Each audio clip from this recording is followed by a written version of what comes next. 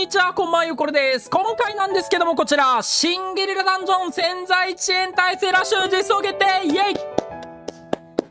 今日はですね、なんと、新ゲリラダンジョンの潜在遅延耐性ラッシュがね、新しく実装されるということで、こちらチェックしていこうと思います。まずは、実装日が7月26日金曜日からです。潜在玉だらスキル遅延耐性が10体手に入る新たなゲリラダンジョンが登場します。で、まあね、こちら見てもらえればわかるんですが、こんな感じ。えー、スタミナが200で、バトルは5フロアですね。まあ、つまりまあ1フロア2体で合計10体ゲットできて、もう本当に遅延耐性のみ落ちるって感じになっております。皆さんは遅延足りてますか？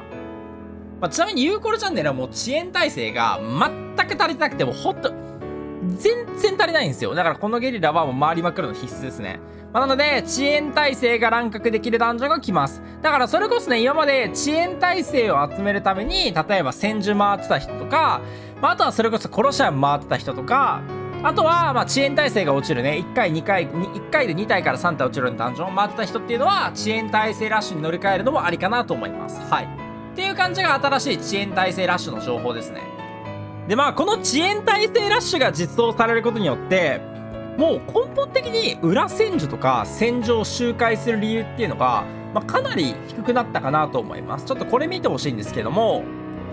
今のパズドラっていうのは、えっ、ー、と、こんな感じで、そもそももう今、潜在パラメーター強化ラッシュと、あとこれ、潜在属性軽減ラッシュだね。この2つが実装されていて、さらにこの前、あの、キラーラッシュもね、すでに実装されてますので、キラーと、まあ、潜在属性と、あとは潜在パラメータ強化っていうのは、もう正直言ってわざわざゲリラダンジョンでもうゲットできるんで、もう他のダンジョン回る必要がなくなりました。特にキラーとかはね、キラーラッシュのおかげでかなり入手しやすくなったんですよ。っていうのもあって、じゃあそもそも、あの、裏戦術何落ちるかっていうと、軽減プラス洗剤がランダム4体と、6悪洗剤がランダム1体と、あとは遅延耐性4体、20P3 体、スパナエ3体とかね、落ちますけども、だからもう正直、戦場回るメリットがあんまりなくなってきていて、まあ、ノエルに関しても二次メダルで取れますし、二次 P に関しても破格なレートでね、二次メダルで取れますので、で、潜在軽減プラスも落ちて、しかも今回遅延もね、ラッシュで落ちるってことは、まあ、かなり、えー、裏戦術とか戦場回るメリットは減ったかなと思います。ただ、結局、このシンゲリラって全部スタミナ200なんですよ。キラーも1周で6体落ちますけども、スタミナ200。軽減プラスに関しても1周で7体8体めっちゃ落ちますけども、言うてスタミナ200なんですよね。で、潜在パラメータはもちろん200で、で、まあ、遅延耐性ラッシュも潜在玉ドラ、えー、10体落ちますけども、結局スタミナ200なんですね。だから、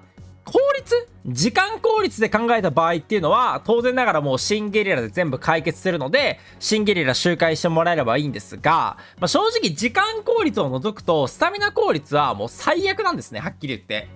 まあ、それこそ、あのー、魔法石めちゃくちゃ課金できますと。とりあえず、あの、楽に報酬ゲットしたいですっていう人には、すごい遅延耐性ラッシュは特におすすめではあるし、まあ、そもそも遅延はね、入手自体すごいしづらいので、全然ここでね、石割って周回するのもありやとは思いますけども、逆に言えばですね、えー、裏戦術ですね。裏戦術なんて今もうめちゃくちゃいろんな編成で周回できるわけですから、裏戦術周回してあげると、これで、軽減プラス洗剤4体に、6枠洗剤1体に、遅延4体 20P3 体スパネ3体もらえますので、バリバリに美味しいんですよ。だこの報酬乱獲できますので、裏戦術回ってもらえれば。なので、スタミナ効率を、ま考える人は当然ながら裏戦術とか、そういうダンジョン回ってもらって、逆に時間効率を考える人はもう絶対にね、ラッシュ系を回ってもらえればなと思います。まあ、遅延耐性ダンジョンがどんな感じのダンジョンになるか分かりませんけども、とにかく報酬はめちゃくちゃ美味しいので、まあ、スタミナ余裕がある人は、ぜひこの機会に周回していただきたいなと思います。まあ、という感じがね、えー、今回新たに実装される新ゲリラダンジョンとなっております。いかがでしょうか？まあ、多分マジでね、あの、この、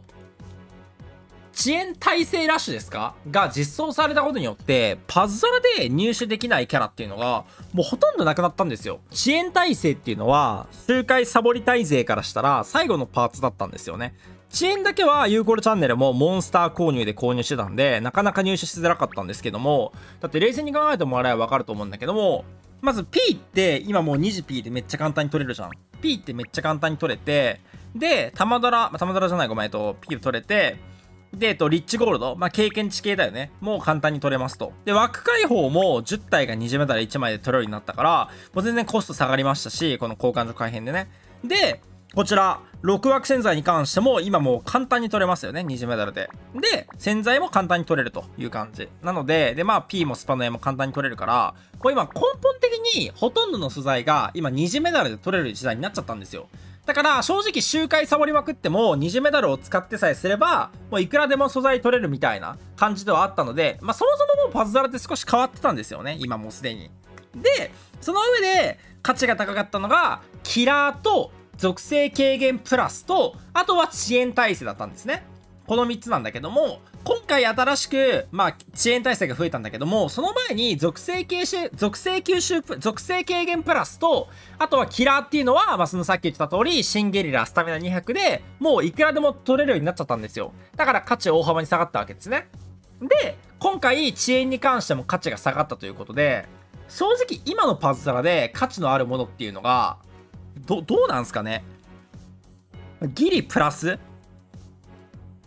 でももう最近のコーナーダンジョンってクリアするだけでプラス簡単に取れるから、そんな価値あるとも思わんしでも今更。玉だらも結構いろんな手段で取れるようになってますので、まあ、僕もそんなに困ることないよね。で、スパナヤも当然怖んないし。で、洗剤に関しても、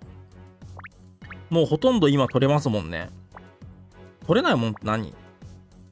やもうないか。キラーラッシュ含めたらもう完全にこれで全部取れるようになったのか。だから唯一パズドラの最後の、なんていうの育成の要素であった遅延耐性がラッシュで取れるようになるということは、もうこれで全ての素材がね、簡単に取れるようになったかなと思います。そうだよね。まあ多分でも、そうだよね。キラーもそうだし、二次メダルとゲリラ含めたらもうこれで全部取れるようになったかなっていう感じですね。で、これが何を意味するか分かりますか？こんだけいろんな新素材が楽々取れるようになるということは、もうそろそろ新たな育成システムが追加されそうな予感がしますね、正直。まあ、あの、シンクロ覚醒がこの前出ましたけども、シンクロ覚醒みたいな感じで、まあ、結構シンクロ覚醒も大変なシステムだとは思うんですけども、そういうノリで新しい洗剤とか新しい育成要素がそろそろ追加されてもおかしくないかなと思います。今のこの育成要素のキャラクターってほとんどがもう周回しなくても取れるようになってますので、まあ、だと、そしたらもうね、パズドラある程度なんていうのも周回要素がほぼなくなっちゃうので、まあそろそろレベル130解放とか、まあレベル130解放は周年な気がしますけどね、あるとしても。2月な気がしますけども、まあ数ヶ月後、1年以内ぐらいには、まあ確実に新しい要素が入ってきますので、パズドラってね。それも踏まえると、そろそろ育成要素が追加されていく可能性も高いんじゃないかなと思います。まあ、っていう感じの予想ですね。結構今のパズドラがある程度なんていうの育成素材配布になってきてるので、まあちょっとそこら辺も視野に入れて、今のうちにね、素材集めておきたいですね。はい、まあ、ということで今回は、シンギレラダンジョンが実装される件について話す動画でした。チャンネル登録、高評価お願いします。ご視聴ありがとうございました。バイバイ